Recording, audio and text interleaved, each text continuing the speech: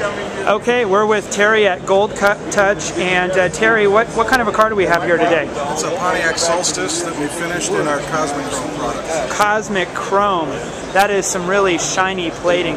Tell us a little bit about how this plating is done on the car. Cosmic Chrome is a hybrid of paint and plating. There's three layers of coatings here. A base coat, then a proprietary plating process that we spray on, similar to paint, and then we clear coat it with tinted clears to uh, provide different colors.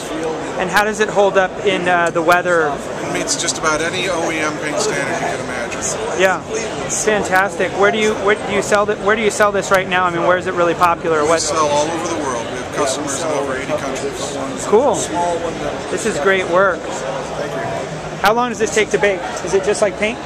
It's similar to a high-end candy paint job, so it takes those kinds of painting skills. It takes that kind of a painting environment to do it. Is this special effects here? This this Yeah, this black? Uh, we have an orange tint in the top coat, and then some of the highlights are done in black. Wow, that's fantastic.